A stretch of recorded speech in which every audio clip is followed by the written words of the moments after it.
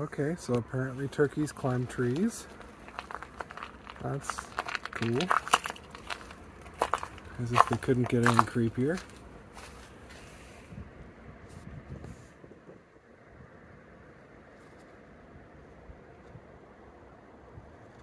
So they just straight hop up there to get the berries.